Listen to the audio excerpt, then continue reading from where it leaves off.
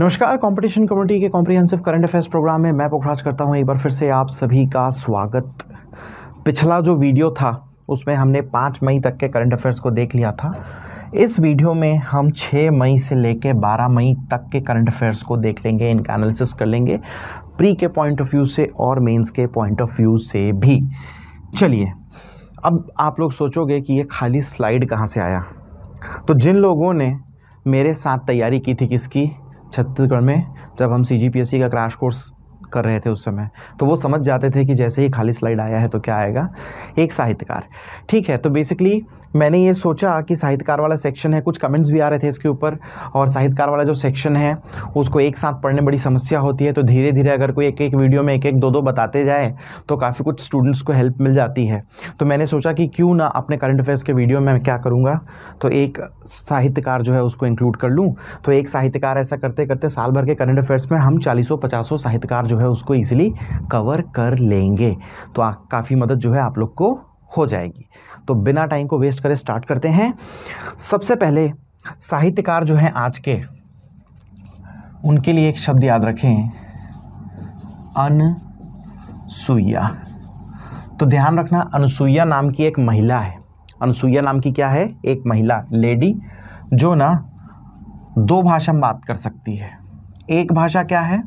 तो एक भाषा है छत्तीसगढ़ी। कौन सी भाषा है? छत्तीसगढ़ी। और दूसरी भाषा क्या है पता है? हिंदी। तो अनुसुईया नाम की महिला है, छत्तीसगढ़ी बोल लेती है, हिंदी भी बोल लेती है। चलिए, अब ये एक अधूरी सी पहेली है, इसको पूरा करते हैं। हमारी जो साहित्यकार हैं, उनका नाम क्या है? तो डॉक्टर अनुसुईया अग्रवाल। क्या नाम है, डॉक्टर? अनुसुईया अग्रवाल। अब हिंदी में, नहीं, पहले छत्तीसगढ़ी बताता हूँ। छत्तीसगढ़ी में इनकी कौन कौन सी रचनाएँ हैं? तो दो रचनाएँ हैं। पहली है छत्तीसगढ़ के व्रत, तिहार औ कथा कहिनी। छत्तीसगढ़ के व्रत तिहार और कथा कहनी। दूसरी इनकी रचना है, छत्तीसगढ़ी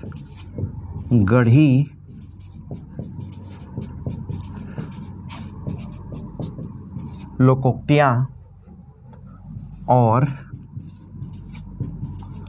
ने लिख दिया मैं अभी ना, देखो। जन जीवन। छत्तीसगढ़ी लोकोक्तियाँ और जनजीवन, छत्तीसगढ़ी की इनकी रचनाएँ। अब हिंदी की रचनाएँ। पहली है, कहावतों की कहानियाँ। और दूसरी रचना है इनकी वसीयत। क्लियर है? तो कैसे देखे थे? एक बार रिवाइज कर लेते हैं। देखोगा सबे जन, कैसे देखे रेंतेला तो क्या देखे थे? अनुसुईया नाम की एक महिला है, एक लेडी है, जो छत्तीसगढ़ी में भी बात कर सकती है, हिंदी में भी बात कर सकती है। तो अनुसुईया से डॉक्टर अनुसुईया अग्रवाल इनका पूरा नाम बन गए साहित्यकार। छत्तीसगढ़ी में दो रचनाएँ, छत्तीसगढ़ी से ही शब्द से याद रखना, एक छत्तीसगढ़ से और एक छत्तीसगढ़ी शब्द से है। तो छत्तीसगढ़ के व्रत तिहार और कथा कहनी। और है क्या? छत्तीसगढ़ी लोकोक्तियाँ और जनजीवन। हिंदी में दो रचनाएँ हैं, कहावतों की कहानियाँ और क्या है दूसरी? वसीयत। तो तीन तो आसानी से याद रख सकते हो। देखो, छत्तीसगढ़ और छत्तीसगढ़ी शब्द से ही है तीन। ठीक है? दो के लिए आपको थोड़ा सा मेहनत करना पड़ेगा तो तरीका बता दिया हूँ, खुद से कर लेना। चलो, आगे बढ़ जाते हैं। क्या करते हैं? तो लास्ट जो वीडियो थे, उसके क्वेश्चंस को देख लेते हैं। मुख्यमंत्री श्री भूपेश बघेल द्वारा किस स्थान पर रेल इंडस्ट्रियल पार्क का लोकार्पण किया गया था? आपको ध्यान है, मैंने बताया था दुर्ग ज़िले में हथखोज। ध्यान में आना चाहिए आप लोग को। नेक्स्ट क्वेश्चन को देखते हैं। नेक्स्ट क्वेश्चन क्या है? मुख्यमंत्री मितान योजना की शुरुआत कब की गई थी? इंटरनेशनल लेबर डे एक मई 2022 ठीक? अगला। वर्ल्ड चैंपियनशिप में पदक जीतने वाला छत्तीसगढ़ का पहला वेट लिफ्टर ध्यान होगा ज्ञानेश्वरी यादव जी के बारे में लास्ट वीडियो में हमने चर्चा की थी। याद होना चाहिए आप लोग को। फिर है मुख्यमंत्री मितान जो योजना है, उसके लिए टोल फ्री नंबर क्या है? One four five four five last video अगर देखे हो, आसानी से याद होगा। चलिए, अगला क्वेश्चन श्रमिक सियान सहायता योजना के तहत कितनी सहायता राशि? दस हज़ार एक मुश्त दी जाती थी। दस हज़ार, एक मुश्त। और फाइनली लास्ट क्वेश्चन क्या है? छठवा क्वेश्चन केंद्र द्वारा छत्तीसगढ़ के किन अस्पतालों को राष्ट्रीय गुणवत्ता आश्वासन मानक? आपको याद है मैंने क्या बताया था? ए बी के टी याद आया? या ए बी टी के करके भी याद रख सकते हो तो आमाडांड, आड़ावाल। बी से भाठा गाँव के से कोट तरा और टी से टंकी मरोदा। आपको कोड याद आ गया होगा।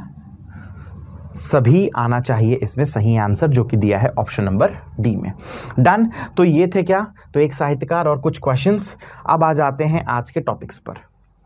सबसे पहले, काफ़ी इंपॉर्टेंट न्यूज़ है ये। तो निजात, एक ऐसा अभियान है, निजात अभियान, जिसको स्मार्ट पॉलिसिंग की श्रेष्ठ श्रेणी में शामिल किया गया है। अब नाम से समझो यार, निजात का मतलब क्या होता है? किसी चीज़ से निजात पाना छूट जाना। क्लियर है, अब यहाँ किससे निजात पा रहे हैं? तो देखो रे भाई, काखर से निजात पाना है तिला। तो ड्रग्स है, नारकोटिक्स और नशे का अवैध जो कारोबार होता है, इसके खिलाफ ना सिर्फ़ क्या की गई कार्रवाई, और लोगों में क्या किया गया है? तो जागरूकता अभियान। अब अगला प्रश्न आएगा कि ये कहाँ किया गया है? तो इस अभियान की शुरुआत छत्तीसगढ़ के किस ज़िले में की गई? कोरिया ज़िले में। तो कोरिया ज़िले में इस समय एसपी थे आईपीएस संतोष सिंह जी। इन्होंने ही इस निजात कार्यक्रम को या निजात अभियान को स्टार्ट किया, जिसके अंतर्गत क्या किया गया? ड्रग्स है नारकोटिक्स है, नशे का जो अवैध कारोबार चल रहा है, उसके खिलाफ ना सिर्फ़ वहाँ पर कार्रवाई की गई, बल्कि लोगों में भी अवेयरनेस फैलाई गई या जागरूकता फैलाई गई कि इन नशे वाली चीज़ों का ना कारोबार करना है अवैध रूप से, ना इनको सपोर्ट करना है और इन चीज़ों को छोड़ना भी है, दूर भी रहना है। क्लियर है ये? तो इस अभियान का नाम है क्या? निजात अभियान। इंपॉर्टेंट है। आपको थर्टी वर्ड्स में सीधा पूछेगा पेपर नंबर पाँच में। बोलेगा, निजात अभियान क्या है करके। क्लियर है ये? अब सिंह जी का ट्रांसफ़र होके कहाँ आ गए ये? राजनाथ गाँव। तो करेंटली राजनाथ गाँव के एसपी तो क्या हुआ? राजनाथ गाँव में भी इन्होंने क्या किया? तो इस निजात अभियान को स्टार्ट किया। क्लियर है ये? तो कोरिया में थे, तब स्टार्ट किया। उसके बाद राजनाथ गाँव ट्रांसफ़र होकर आए, वहाँ के एसपी बने, वहाँ पर भी स्टार्ट कर दिया। अब क्या है? हमारा जो केंद्रीय गृह मंत्रालय है सेंट्रल होम मिनिस्ट्री है, इसमें ना एक एजेंसी है इसकी, जिसका नाम है क्या? पुलिस अनुसंधान एवं विकास ब्यूरो। इंग्लिश में बोलते हैं bureau of police research and development B P R N D bureau of police research and development इस ब्यूरो ने एक बुक छापी, किताब छापी, नाम क्या रखा? स्मार्ट पुलिसिंग की उत्तम कार्य प्रणालियाँ। इंग्लिश में क्या था? इंग्लिश में था बेस्ट प्रैक्टिस ऑफ़ ऑफ़ नहीं ऑन है। Smart policing best practices on smart policing और इस बुक में क्या किया गया है? छत्तीसगढ़ में ये जो अभियान चलाया जा रहा है, इस अभियान पर एक विस्तृत आलेख या एक आर्टिकल लिखा गया है। एक्चुअली इस बुक में किया क्या गया था? तो हमारे यहाँ पे जितने स्टेट्स हैं, या जो अलग अलग स्टेट्स हैं, और वहाँ पर जो पुलिस है और पुलिस संगठन है, उनके द्वारा अगर कोई इनोवेटिव काम किया जा रहा है, या नवाचार किया जा रहा है, उसको इस बुक में क्या किया गया था? शामिल किया गया था। क्लियर है? तो इस बुक में अगर आप देखेंगे ना तो एक सेक्शन है, नशा मुक्ति का, या ड्रग डी एडिक्शन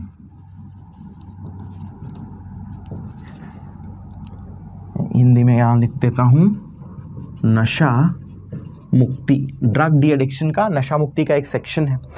और इसी में छत्तीसगढ़ पुलिस के द्वारा ये जो निजात अभियान चलाया जा रहा है, इसका क्या किया गया है? मेंशन किया गया है।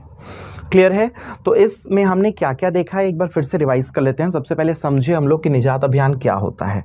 तो निजात अभियान हम समझे कि जो ड्रग्स है नार्कोटिक्स है नशे का अवैध जो कारोबार चल रहा है, एक तो उसको कार्रवाई करके बंद कराना, दूसरा लोगों को क्या करना, इसके खिलाफ जागरूक करना, यही है आपका क्या निजात अभियान और इसका ऑब्जेक्टिव छत्तीसगढ़ में पहले कोरिया डिस्ट्रिक्ट में, उसके बाद राजनांदगांव डिस्ट्रिक्ट में.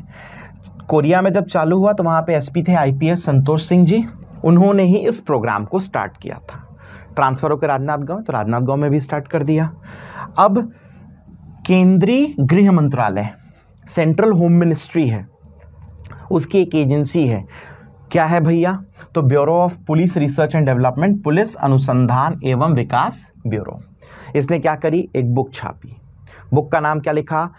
तो रखा स्मार्ट पुलिसिंग की उत्तम कार्य प्रणालियाँ इंग्लिश में मैंने बताया था best practices on smart policing इसमें क्या किया गया है? इसमें जो विभिन्न राज्य की पुलिस है और पुलिस संगठन है, पुलिस ऑर्गेनाइजेशंस, उनके द्वारा जितने भी नवाचार प्रयास इनोवेटिव अप्रोच उनके द्वारा जो भी लगाया जा रहा है, उसमें से जो अच्छे कार्य हैं, उनको क्या किया गया? इस बुक में रखा गया। और इसी बुक में ड्रग डी एडिक्शन नशा मुक्ति वाली जो कैटेगरी है, उसमें छत्तीसगढ़ की पुलिस द्वारा, खासकर कौन से डिस्ट्रिक्ट की? कोरिया डिस्ट्रिक्ट की। जो ये जो निजात अभियान चलाया जा रहा था, उस पर एक डिटेल्ड आर्टिकल है, विस्तृत आलेख लिखा हुआ है। ठीक है? चलिएगा। अब समझिए इसका यूटिलाइजेशन कैसे कर सकते हैं। सबसे पहले प्री में पूछ सकता है कि निजात अभियान जो है, छत्तीसगढ़ के किस ज़िले से स्टार्ट हुआ है? तो कोरिया डिस्ट्रिक्ट पहला क्वेश्चन अगला डिस्ट्रिक्ट पूछ सकता है कि किस बुक तो बुक का नाम याद रखना है। स्मार्ट पुलिसिंग की उत्तम कार्य प्रणालियाँ, ये जो बुक है, इस पर प्रकाशन किया गया है। अगला पूछ सकता है कि प्रकाशन कौन करता है इसका? तो bureau of police research and development police अनुसंधान एवं विकास ब्यूरो तो ये तीन क्वेश्चंस जो हैं वो किस पे आ सकते हैं? सीधा प्री में आ सकते हैं। मेंस में आपको पूछ सकता है निजात अभियान क्या है? तो थर्टी वर्ड्स का एक क्वेश्चन इस पर रेडी कर सकते हैं। इवन आप चाहें तो ऐसे में अगर गुड गवर्नेंस से संबंधित या प्रशासन से संबंधित कोई भी ऐसे आता है तो उसमें एग्ज़ाम्पल के तौर पर आप इस निजात अभियान का यूटिलाइजेशन कर सकते हैं। आई होप ये न्यूज़ जो है आपको अच्छे से क्लियर हो गया होगा। चलिए नेक्स्ट देखते हैं। नेक्स्ट क्या है? मुख्यमंत्री रेशम मिशन। तो जब इस बार का बजट मतलब 22-23 का बजट जब प्रस्तुत कर रहे थे हमारे मुख्यमंत्री तो अपने बजट स्पीच में बजट का जो भाषण था उनका, उसमें उन्होंने इस मुख्यमंत्री रेशम मिशन के बारे में या इस मुख्यमंत्री रेशम मिशन की क्या की थी? व्याख्या की थी। ठीक है? अब इस मिशन जो है, उसका उद्देश्य ऑब्जेक्टिव क्या है? तो क्या है? हम कुछ पिछले वीडियोस में देख ही चुके हैं कि हमारा जो बस्तर संभाग है ना, वहाँ पर रैली ककून, वही कोसा वाला, उसका उत्पादन होता है। क्लियर है? लेकिन इसका सही मूल्य नहीं मिल पाता था तो इसके लिए इन्होंने क्या किया? जो रैली ककून है, उसको किस पे? तो एमएसपी न्यूनतम समर्थन मूल्य पर खरीदा जाएगा, ऐसी घोषणा की। अब होगा क्या? इसका संग्रहण करने के बाद इस रेशम मिशन के माध्यम से हमारे राज्य में ही इससे क्या उत्पादन किया जाएगा? तो धागा थ्रेड का उत्पादन किया जाएगा। साथ ही इसकी प्रोसेसिंग या प्रसंस्करण की व्यवस्था भी होगी और इन्हीं व्यवस्थाओं को विकसित करने के लिए इस रेशम मिशन की शुरुआत की जा रही है या इस मिशन के अंतर्गत इन सुविधाओं को विकसित किया जाएगा। क्लियर है? तो अगर थर्टी वर्ड्स में पूछ दे, मुख्यमंत्री रेशम मिशन क्या है तो बताइएगा, बस्तर संभाग में रैली ककून जो है, इसके संग्रहण। ये नेचुरल वाला था, याद होगा आपको? अच्छा आप लोग अगर मेरे वीडियोस को फॉलो कर रहे हो तो आप लोग बताना दूसरे वाले का नाम क्या था। ठीक है, मैं बताया हूँ अपने वीडियो में, ध्यान रखना। तो बस्तर संभाग में रैली ककून जो है, उसका संग्रहण करना। कलेक्शन और साथ ही में क्या करना, राज्य में ही धागा उत्पादन करना और प्रसंस्करण प्रोसेसिंग करना। तो ये जो व्यवस्था है, इसको मुख्यमंत्री रेशम मिशन के माध्यम से शुरू की जाएगी छत्तीसगढ़ में। क्लियर है? तो थर्टी वर्ड्स में एक आंसर रेडी हो गया। ठीक भाई, अब बेसिकली क्या है ना, कि ये रैली ककून खरीदेगा कौन? सरकार खरीद रही है, ठीक है। कहाँ पर, कैसे? तो जगदलपुर जो विकास खंड है, बस्तर जिला, समझ गए होगे। यहाँ पर एक गाँव है, ग्राम नानगूर। यही नाम है। हो सकता है कि आपने अलग अलग वीडियोस में अलग अलग सोर्सेस में कुछ दूसरा पढ़ा हो, लेकिन बजट स्पीच में जाकर देखो, नानगूर लिखा हुआ है। क्लियर है? तो नानगूर जो ग्राम है ना, उसमें एक ककून बैंक बनाया जाएगा। क्लियर? अब लोग जाके क्या करेंगे तो ककून को वहाँ पर बेचेंगे। ठीक? इससे होगा क्या कि स्व सहायता समूह तो लगभग ऐसे ना 200 स्व सहायता समूह हैं, जिनमें लगभग 4000 महिलाएँ जुड़ी हैं। तो इन स्व सहायता समूह की महिलाओं को सबसे पहले तो क्या मिल गया? तो मिल गया ककून। क्यों मिल गया? तो अब इससे धागा निर्माण कर सकेंगे मतलब रॉ मटेरियल मिल गया, समझ लो। क्लियर है? साथ ही क्या किया जाएगा? ये जो स्व सहायता समूह है ना, इनको धागा बनाने के लिए प्रशिक्षण भी दिया जाएगा। और क्या किया जाएगा? मशीन उपकरण जो चाहिए, उनकी सहायता भी दी जाएगी। तो क्या किया गया? इस मिशन के माध्यम से न सिर्फ़ ककून का संग्रहण किया गया, बल्कि धागा उत्पादन और इसका जो प्रोसेसिंग है, उसकी भी व्यवस्था की गई। कैसे? तो भाई, खरीदे कैसे? तो खरीद लिए जगदलपुर विकासखंड में एक बैंक बना दिए ककून बैंक समझ में आया? कौन से गाँव में?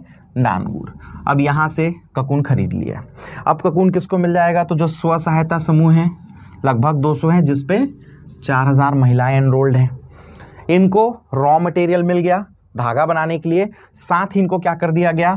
तो प्रशिक्षण दे दिया गया और मशीन उपकरण जो है उसकी भी सहायता कर दी गई।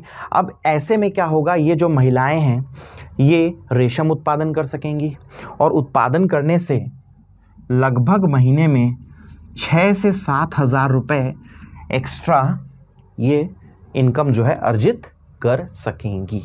आई होप ये पूरा का पूरा डिटेल आपको क्लियर हो गया होगा। क्लियर है? प्री के पॉइंट ऑफ़ व्यू से क्वेश्चन देखें तो पूछेगा ककून बैंक कहाँ पर स्थापित किया गया है? इंपॉर्टेंट क्वेश्चन है ये, एक। ठीक? नानगुर याद रखना। सेकंड आपको सीधा पूछ सकता है रेशन मिशन को रेशन जो मिशन है उसको समझाइए तो बताइएगा। इस मिशन के माध्यम से बस्तर संभाग में रैली ककून का संग्रहण कर राज्य में ही धागा उत्पादन एवं प्रसंस्करण की व्यवस्था की जा रही है या इसके उद्देश्य से यह जो मिशन है उसकी शुरुआत की जा रही है।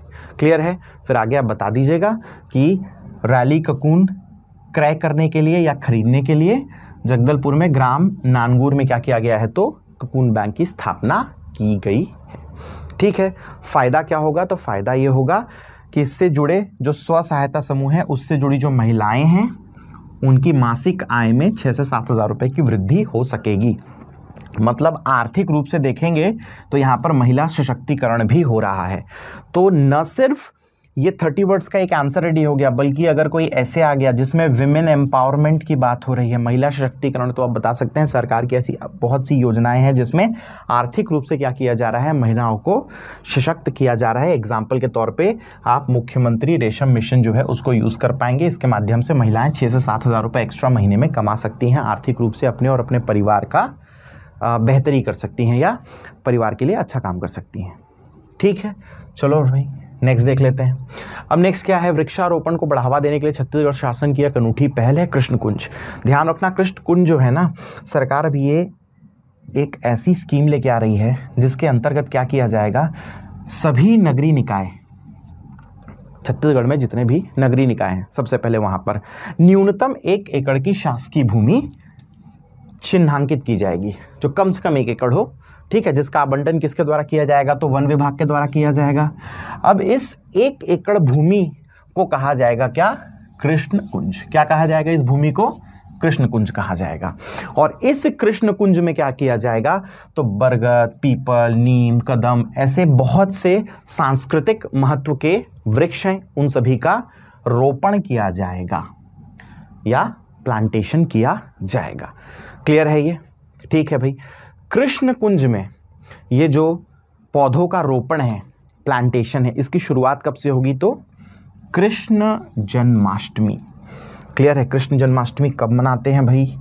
तो आपको पता है, भाद्रपद, भादो मास में जो कृष्ण पक्ष होता है, उसके अष्टमी, कृष्ण जन्माष्टमी जो है उसको मनाया जाता है।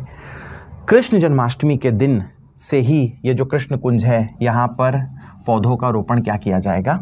स्टार्ट किया जाएगा। अब इस न्यूज़ को थोड़ा डिटेल में आप समझो ना तो इसके दो महत्व हैं।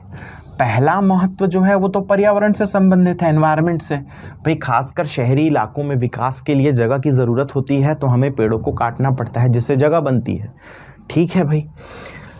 दूसरा जो इसका एंगल है ना, वो हमारे कल्चर या हमारी संस्कृति पर पॉइंट ऑफ़ पॉइंट आउट करती है। अब शहरी क्षेत्रों में कोई व्यक्ति रह रहा है विकास के नाम पर पेड़ कट गए। उसने कभी बरगद का पेड़ देखा ही नहीं, कभी पीपल का पेड़ देखा ही नहीं। तो जब देखा ही नहीं तो ये जो पेड़ हैं, इनकी हमारी संस्कृति से या हमारा जो कल्चर है, उससे क्या इन पेड़ों का रिलेशन है? कैसे हम पीपल की पूजा करते हैं? कभी वह समझ ही नहीं पाएगा। क्लियर है? तो धीरे धीरे क्या हो जाएगा? वह हमारी संस्कृति से वह व्यक्ति दूर हो जाएगा। उसे पता ही नहीं चलेगा कि हमारी संस्कृति में ऐसे पेड़ों का क्या महत्व था। क्लियर है? तो ध्यान रखेंगे ये जो कृष्ण कुंज है कृष्ण कुंज के दो महत्व हैं। एक तो पर्यावरण के दृष्टिकोण से कि भाई पेड़ लगाओगे सीधा सी बात है अच्छी बात है। एनवायरनमेंट में आ, सुधार होगा। ठीक है ऑक्सीजन की मात्रा जो है बढ़ेगी कार्बन डाइऑक्साइड की मात्रा क्या होगी? थोड़ी कम हो जाएगी। बढ़िया बात है, ज़्यादा पेड़ होगा, ज़्यादा वर्षा होती है, सब जानते छो, आप लोग बहुत स्मार्ट हो यार, मेरे को पता है। मोरल ज़्यादा ही स्मार्ट हो तुम ना बिकट। ठीक, लेकिन दूसरा एंगल ध्यान रखना कल्चर का या संस्कृति का। तो सांस्कृतिक महत्व वाले बहुत से ऐसे पेड़ हैं जो कट जाने के बाद लोगों को पता ही नहीं चलेगा, आने वाली जनरेशन को उनके बारे में पता ही नहीं चलेगा, उन सब के बारे में भी। अब लोग जाकर कृष्ण कुंज में देखेंगे, बरगद का पेड़ है, पीपल का पेड़ है, छोटा बच्चा जाएगा, पीपल का पेड़ देखेगा तो पूछे पापा से, कौन सा पेड़ है? पापा, बताइए, अरे पीपल के पेड़ हरे तो एम काबर इसे टीका लगा है तो बताइए, अरे भैया हम शनिवार के दिन सब भगवान वनवास करते तो शनिवार के दिन जाकर पीपल पेड़ के नीचे दिया जलायल पड़ते तब उसको पता चलेगा कि सांस्कृतिक महत्व पीपल के पेड़ का क्या है करके। ठीक है। आज शनिवार है, शाम को जला लूँ, तुम दिया हुआ सिलेक्शन हुई जल्दी। क्लियर ठीक है भाई। मेंस में आपको पूछ सकता है भाई, ये जो कृष्ण कुंज है, ये क्या है? या कृष्ण कुंज योजना क्या है सरकार की? तो बताइएगा, इसके माध्यम से नगरीय निकायों में कम से कम एक एकड़ की जो भूमि है, उसमें जो सांस्कृतिक रूप से इंपॉर्टेंट पेड़ हैं, बरगद, पीपल, नीम, कदम, इनका रोपण किया जाएगा। जिससे ना सिर्फ़ पर्यावरण सही होगा या इसमें सुधार होगा अच्छा होगा, बल्कि हमारी जो सांस्कृतिक धरोहर है, उसे भी क्या किया जा सकेगा? कंजर्व या संरक्षित किया जा सकेगा। डन चलो नेक्स्ट देख लेते हैं। अब नेक्स्ट क्या है? ट्राइबल म्यूज़ियम है। तो नवीनतम ट्राइबल म्यूज़ियम कहाँ बन रहा है? तो नवा रायपुर में बन रहा है। ठीक है भाई? अब नवा रायपुर में कहा तो tribal research and training institute है, यहीं पर क्या किया जाएगा? तो एक आदिवासी संग्रहालय या ट्राइबल म्यूज़ियम बनाया जाएगा। अब खुद ही समझ जाओ ट्राइबल म्यूज़ियम क्या होगा। तो छत्तीसगढ़ में रहने वाली जो जनजातियाँ हैं, ठीक है, उनका रहन सहन है, पहनावा, आभूषण, वाद्य यंत्र है, ऐसी अनेक सारी चीज़ें हैं जो उनके लिए स्पेसिफिक है। मतलब वही जनजातियाँ इस्तेमाल करती हैं, उन सभी को क्या किया जा सकेगा? प्रदर्शित किया जा सकेगा इस संग्रहालय या म्यूज़ियम के माध्यम से। तो कोई भी जब कॉमन इंसान वहाँ पर जाएगा, इन सब चीज़ों को प्रॉपरली देख सकेगा। क्लियर म्यूज़ियम में लगभग पंद्रह गैलरीज होंगी। सभी गैलरी में जनजातियों से संबंधित अनेक प्रकार की चीज़ों को क्या किया जाएगा तो प्रदर्शनी पर रखा जाएगा। अब अगर डिटेल्ड इसका न्यूज़ पढ़ोगे तो उसमें इस्तेमाल किया जाता है छत्तीसगढ़ में रहने वाली विशेष पिछड़ी जनजातियाँ। और अन्य जनजातियाँ जो हैं, उन सभी से संबंधित चीज़ों को क्या किया जाएगा? इस म्यूज़ियम में रखा जाएगा। अब जनजाति तो लगभग आप जानते ही होंगे, मैं ऐसा मानता हूँ पीएससी की तैयारी में तो मैं आपको समझाता हूँ कि विशेष पिछड़ी जनजाति क्या होती है। तो विशेष पिछड़ी जनजातियाँ ऐसी जनजातियाँ होती हैं, जिनमें जो पॉपुलेशन है, या पॉपुलेशन का ग्रोथ रेट है। जनसंख्या या जनसंख्या जिस दर से वृद्धि कर रही है, जिसको क्या बोलते हैं? जनसंख्या वृद्धि दर। ये क्या हो? बहुत कम हो। ठीक है? इकोनॉमिकली या आर्थिक रूप से ये जनजातियाँ कैसी हो तो बहुत ज़्यादा कमज़ोर हो। इनमें क्या हो? जो शिक्षा का स्तर हो, वो क्या हो? बहुत निम्न हो। तो ऐसी जनजातियाँ जिनकी जनसंख्या कम हो रही है या वृद्धि दर जो है वो एकदम कम है आर्थिक रूप से कमज़ोर हैं, बहुत कम शिक्षित हैं या लिटरेसी बहुत कम है। इसके अलावा कैसी तकनीकों का इस्तेमाल करते हैं? तो कृषि पूर्व की।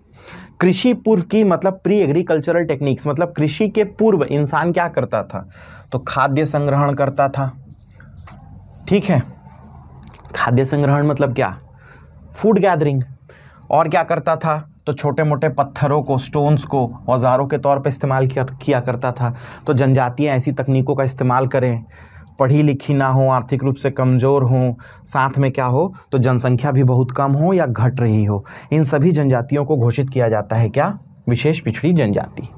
छत्तीसगढ़ में सात विशेष पिछड़ी जनजातियाँ हैं। पाँच को केंद्र सरकार ने, सेंट्रल गवर्नमेंट ने घोषित किया है, दो को राज्य सरकार ने या स्टेट गवर्नमेंट ने घोषित किया है। नाम देख लेते हैं भाई। पहले देखते हैं क्या? केंद्र सरकार वाली पाँच। तो इसको ना एक फिगर से याद रखना। एक बढ़िया आदमी है। ये आदमी क्या कर रहा है? तो अपने कमर में एक बैग लटकाया है। तो ये आदमी क्या किया है? अपने कमर में बैग लटका के जा रहा है। कहाँ जा रहा है पता है? तो ये जा रहा है अबूझ माड़ की जो पहाड़ी है, उसकी ओर, अबूझ माड़ पहाड़ी की ओर जा रहा है। देखो भाई, कमर से याद रखना, कमार, बैग से याद रखना, बैगा। तो कमार, बैगा। दूसरा क्या है? अबूझ माड़। तो याद रखना, अबूझ माड़िया जनजाति।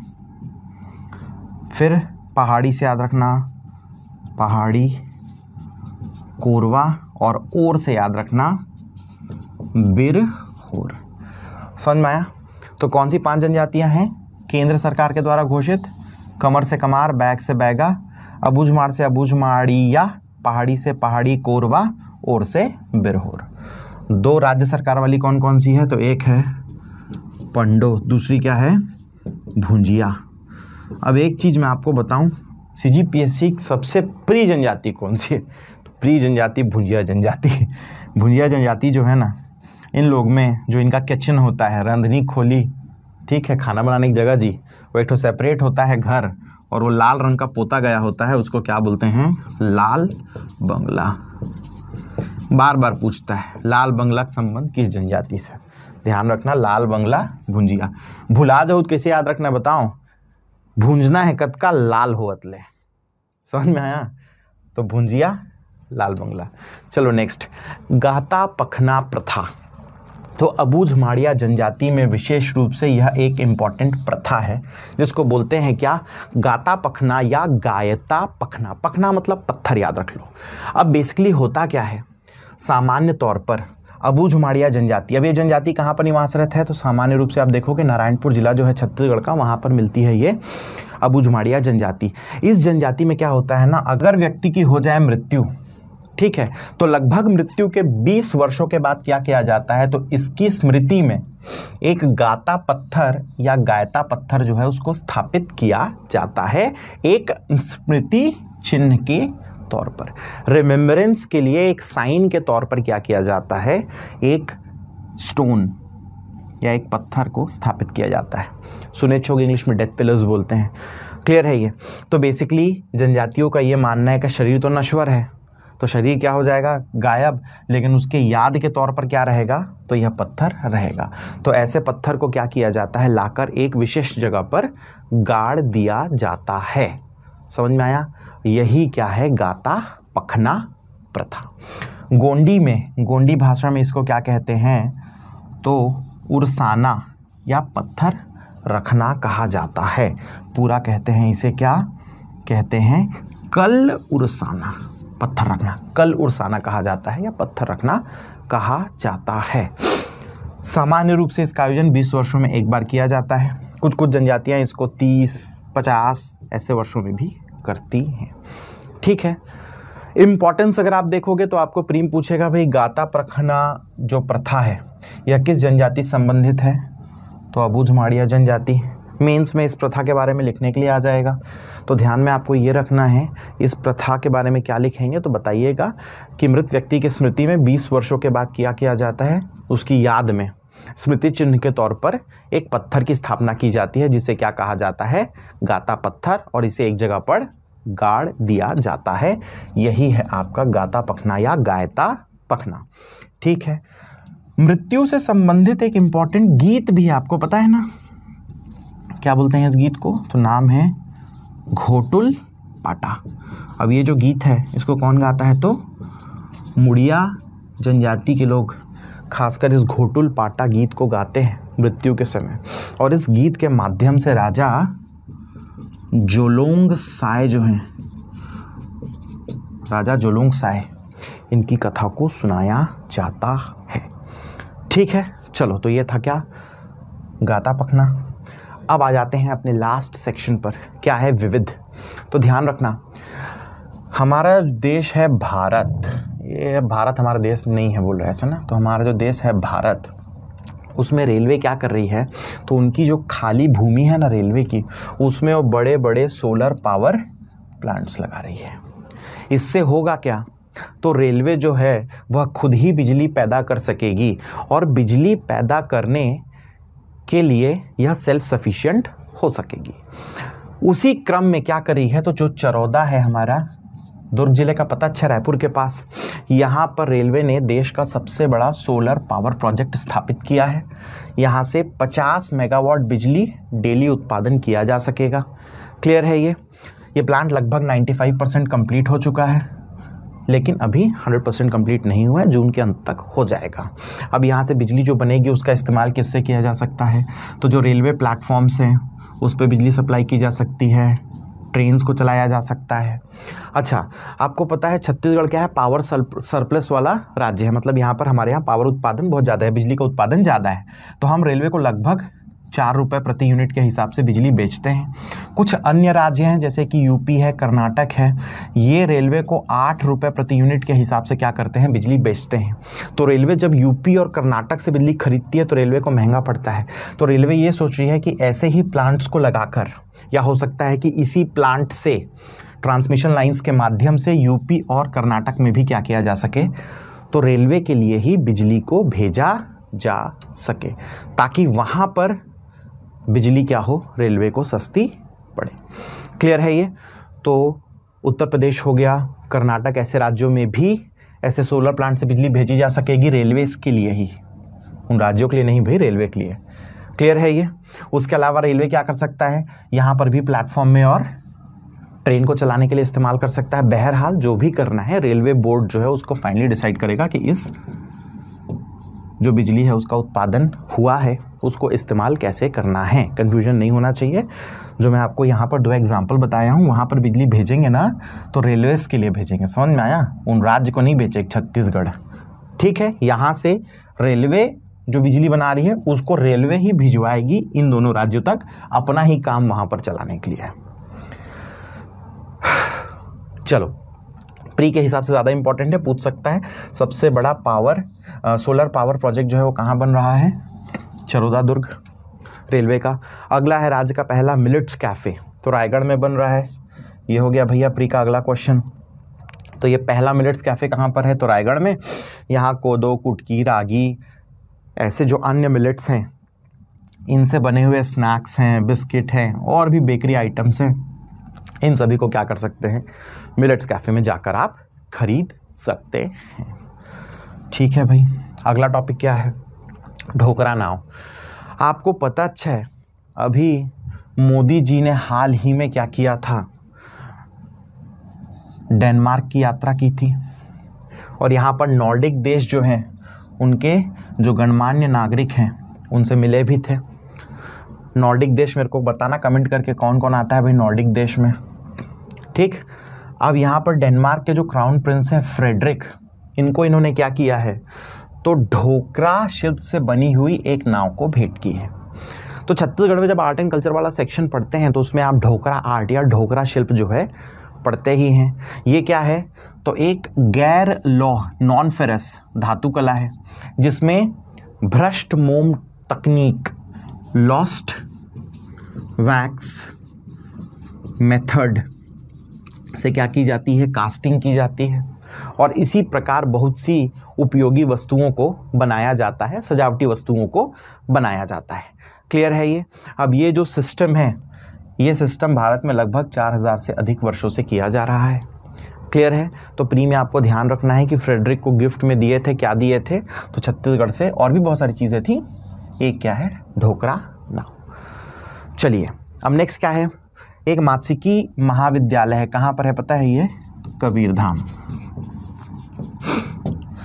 अब इसका नामकरण किसके नाम पे होगा? तो पद्मश्री पूनाराम निषाद। आपको पता होगा या पता होना चाहिए पूनाराम निषाद जी जो हैं, ये पंडवानी से संबंधित थे और कला के क्षेत्र में इन्हें वर्ष 2005 में क्या मिला था? तो पद्मश्री। क्लियर है ये? तो बेसिकली हुआ क्या था? एक ऐसा प्रपोज़ल कि इस महाविद्यालय का नाम जो है पूना राम जी निषाद के नाम पर होना चाहिए करके राज्य सरकार को भेजा गया था, जिसको क्या किया गया है, मुख्यमंत्री जी ने अपनी सहमति दे दी है। और सरकार की सहमति के उपरांत शासन द्वारा नामकरण करने हेतु क्या किया गया है? तो आदेश भी जारी कर दिया गया है। सीधा पूछ सकता है कि मत्स्यकी महाविद्यालय कबीर धाम जो है, उसका नामकरण किसके नाम पर किया जा रहा है? नाम याद रखना है, पुनाराम निषाद। चलिए ठीक है, विविध में नेक्स्ट क्या है? Golden island Korba. तो आपको पता होगा कि कोरबा में हसदेव नदी का जो बाँध है, या हसदेव नदी के ऊपर जो बांगो बाँध है अब उसके कैचमेंट एरिया के अंदर, या सीधा सीधा कह दूँ, इस नदी के ऊपर जो बाँध है, बांगो बाँध बांगो बाँध का जो रेजरवायर है, ठीक है, उसका जो जलाशय है, वहाँ पर ना तीन ठो छोटा छोटा क्या पड़ता है तो आइलैंड या द्वीप। एक सतरेंगा है, दूसरा बूका है, तीसरा क्या है गोल्डन आइलैंड क्लियर है ये? तो सतरेंगा है, बूका है, और क्या है गोल्डन आइलैंड है। तो यहाँ पर इनको गोल्डन आइलैंड सर्किट के तौर पर पर्यटन के लिए क्या किया जा रहा है? डेवलप किया जा रहा है।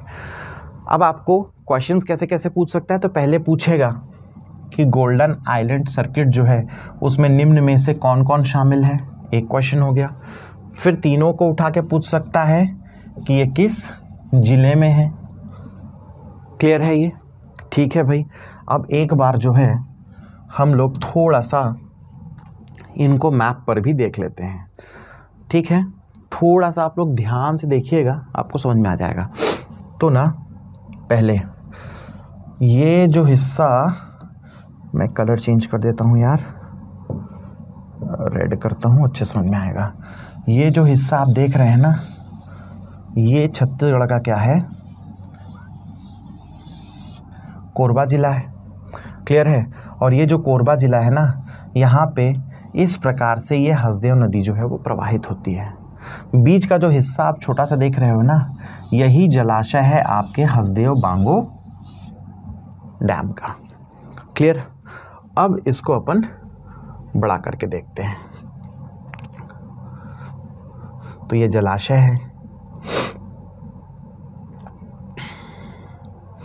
ठीक। अब जलाशय जो है ना, इस जलाशय में सबसे पहले आप देखेंगे ना तो आपको ये दिख रहा होगा यहाँ पर गोल्डन आइलैंड एक। दूसरा ये जो सतरेंगा लिखा है ना, इसका थोड़ा उत्तर की ओर आओगे तो बिल्कुल यहाँ पर आपको मैप पर दिखेगा क्या? ये देखिए। सतरेंगा। क्लियर है ये? तो एक हमने क्या देख लिया? ये सतरेंगा देख लिया। ठीक। चलो और भाई। दूसरा मैंने आपको यहाँ पर गोल्डन आइलैंड भी दिखा दिया था। तीसरा जो है ना, वो है क्या? बूका ये रहा बूका ठीक है। तो ये बूका है। यहाँ पर गोल्डन आइलैंड है। यहाँ कोंटे में आपको एकदम क्या दिखने वाला है तो?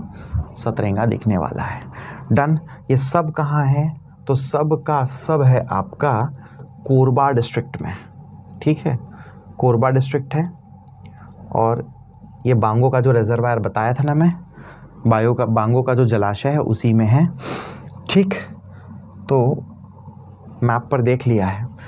तो कोरबा में हंसदेव नदी पर जो बांगो डैम है उसके कैचमेंट में सतरेंगा बूका गोल्डन आइलैंड और ऐसे छोटे मोटे लगभग 20 किलोमीटर के अंतर्गत और भी कुछ चीज़ें या कुछ टूरिस्ट डेस्टिनेशंस जो हैं वो हैं। ठीक है, इन सभी को क्या किया गया है? गोल्डन आइलैंड सर्किट जो है, इसके अंतर्गत डेवलप किया जा रहा है। ठीक है, चलिए, उसके बाद एक थोड़ा सा और कम इंपॉर्टेंट न्यूज़ है। बट इसको देख लेते हैं। तो सूरजपुर में क्या किया है? तो आदिवासी समाज सम्मेलन में कौन शामिल हुए हैं? तो भूपेश बघेल जी हुए हैं। कुछ घोषणा की गई है तो गोंड, उरांव, कवर और चेरवा समाज के सामाजिक भवन के लिए 25-25 लाख की घोषणा है। साथ में बस्तर की तरह सरगुजा में भी जनजातियों के लिए क्या किया जाएगा? तो देवालयों का निर्माण, गुड़ी का निर्माण किया जाएगा और उसके लिए क्या क्या दिया जाएगा? तो पाँच पाँच लाख रुपए की घोषणा की गई है। सरकार निर्माण नहीं कराएगी, निर्माण के लिए पाँच पाँच लाख रुपए की घोषणा की गई है। चलिए फाइनली कंटेंट ख़त्म, किस पे आ जाते हैं? सीधा क्वेश्चंस पे।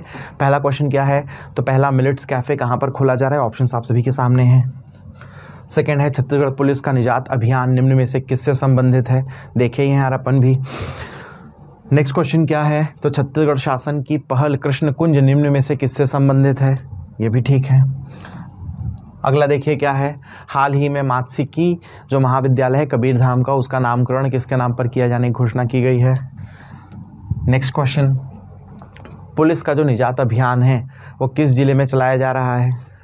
और फाइनली इसको ऐसा कर लीजिए किस ज़िले में शुरू हुआ है, ठीक है? क्योंकि सेकंड में भी चालू हो चुका है ना, इसलिए ऐसा करिएगा। किस ज़िले में पहले शुरू हुआ है? और उसके बाद क्या है? जो नवीन ट्राइबल म्यूज़ियम है, ये कहाँ खोला जा रहा है? क्लियर आपके पास ऑप्शंस हैं। इसको ज़रूर आप मुझे कमेंट सेक्शन में बताएँ कि क्या सही आंसर है, ठीक है? चलिए तो इस वीडियो को रखते हैं। यहीं तक आप सभी से मुलाकात होगी मेरे अगले वीडियो में। तब तक के लिए thank you and take care